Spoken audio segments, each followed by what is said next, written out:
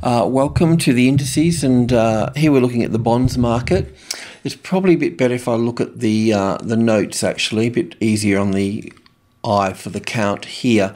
Um, look, essentially this market is moving down. So if we've got we've got five waves here, kick back here. This is next little leg starting down through here. Third wave, one, two, three, four, and five. So while the uh, notes and bonds are moving down, we're going to be seeing the uh, the S and P 500 uh, here uh, moving to the upside. So there's still, even though the count through the S&P 500 here is a little bit tricky to work out, um, let's go and have a look at that now. So um, there's a couple of things here just in the slightly bigger picture we'll start with because, um, you know, we were looking at this as, as uh, uh, the A wave, the B wave, and the C wave. But the problem with the C wave here, it's not it's not a C wave, it's not five waves, it's three waves. So it's likely that this is uh, a wave one up through to here and an ABC back for wave two to here, making this the third wave up through here.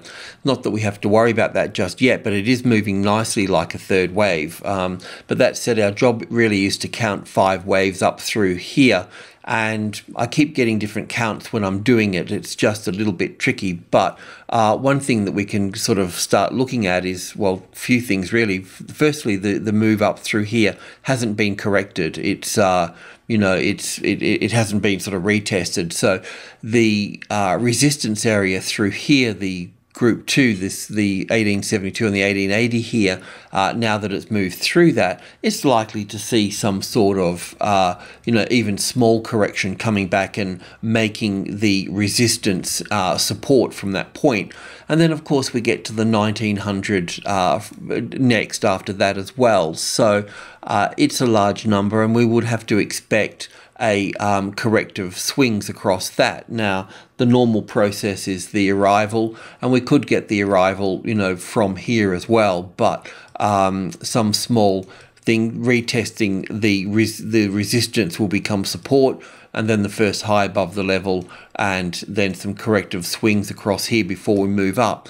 Um, when we do move up, you know the next level up here by the way is well you know is is uh is up at 2000 through here. So um, i know from using the levels you know pretty much um, you know all different markets. So I, I know that um, you know when we get to the, the, the 1900 here as support, it normally gets pulled up quite quickly here. So I feel like there could be a really good trade coming up through here, and uh, finding that support uh, on here uh, would be you know a nice trade uh, to the upside uh, in this little uh, move up through here, you know, it can be counted as five waves up through to here, but it also can be counted as three waves to here as well. So um, the 1888 um, here, so 1890, um, you know, it's this is where it can fail and come back to the 1880 here. So just be sort of mindful uh, of that. But uh, the the the, uh, the momentum for this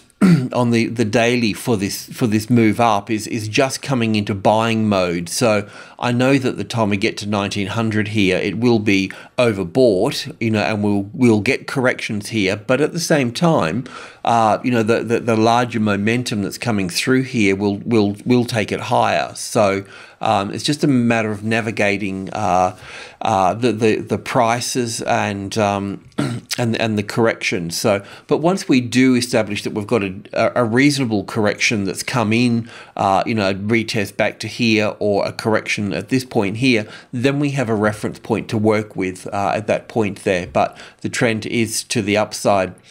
Um, the uh, DAX is much the same in its own right as well. Um, you know, it's uh, facing, we pointed this out yesterday, it's facing some resistance uh, through here as well. And, you know, this counts up to here in terms of of three waves or, or wave C up here as well. So uh, from here would be the one, the two, the three to here, the four to here, and then one, two, three, four, and then diminishing into the fifth wave up through to here. So we can expect corrections, you know, uh, you know, at at, at um, the the nine six, and the and the other important level here was the nine six five zero. And if we do get support on the nine six uh, three zero there, the top of of group one, if I've got that in there further through here. Uh, just for day traders. So obviously you've got the the put the nine six here, which is important the 9630 here is is important as support. And it's, and it's gleaning some support here. And this number here that I wanted to point out the 9650 through here will be important. The other important thing here I mean this is being oversold too on the on the daily but once again the momentum is is uh, has been in play for quite some time and is, is, is quite firm to the upside and coming back to the US markets there, we've had the ADP figures come out last night, and um, it showed a positive sign for the labour market, and um, that will uh, feed into the non farm payrolls on, on Friday. So, you know, when we come to the uh, Australian market as such, uh, here, you know, we. Um, uh, you know, we've been working with our uh, with our couple of things. Our weekly bullish cycle, and um, and our weekly bullish cycle has pretty much been on track in terms that um, uh, we're looking for Wednesday to be uh, positive. Um, and Thursday, we're looking for Thursday to be uh, a bear market. So we're looking for, even though the US markets are up overnight, and look, it'll probably make a, a fool of me and, and, and push up as well. And you would think so too, you know, being the US markets being up somewhat. But just be mindful that Thursday in Australia can be a, a profit taking day in, in, in a bull market. So, um, you know, if it does correct uh, uh, normally opens higher and then trades lower through the day. But if it trades lower on lower volume, then we know that we're going to get Friday and Monday being bull days. Um, and you know we've got that ADP figure from last night, which will give us a positive figure. Uh, well, a, a, bias of being a positive figure for the non-farm payrolls on Friday. So it will give us that Friday, Monday sort of bull run there, and that's important for the stocks we're trading uh, more than anything else. Um, you know, and yesterday we were looking at um, this chart here, and we were looking noted that we had a three wave correction from here. So we always knew that we'd be making a new high through here and we're making that new high through here now as well. So um, that's good. And we've also other interesting point here is that as you can see we've developed support on the 5-4 now. So that's a positive step as well.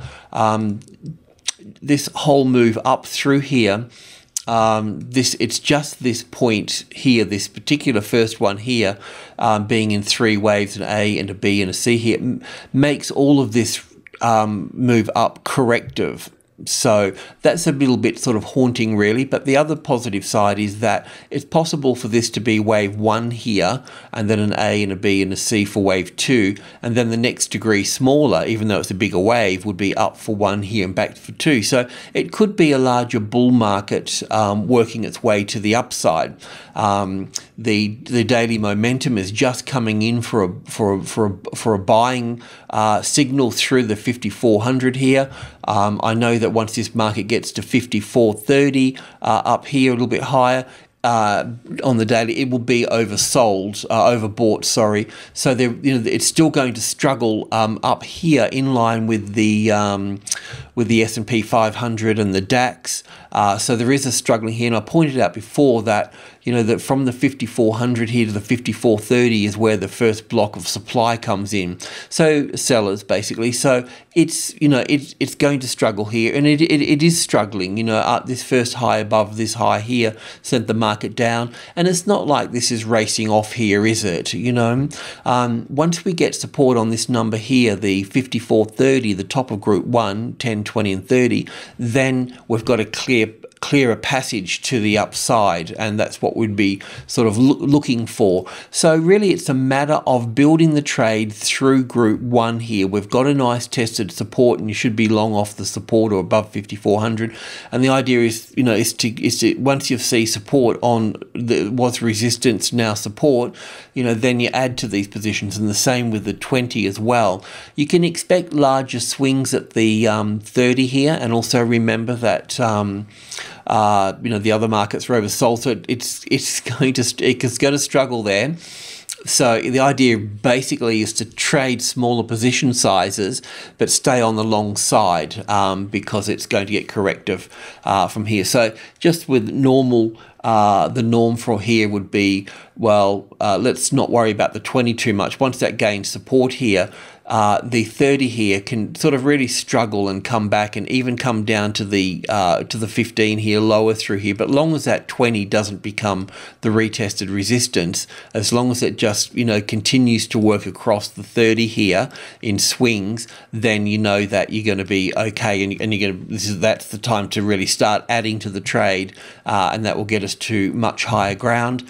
Um, you know so it's really about navigating the the Thursday uh, bearishness uh, that comes into the market where the market can open higher and trade lower for the day. But if that's not the case, then just work through uh, group one here with the aim of somewhere on the Friday of seeing this um, support coming in here. And you'll know that it's support when you start seeing that the 20 really becomes the support, the pivot within group one. Once that starts to get support, then you can really sort of shovel it in from that point there.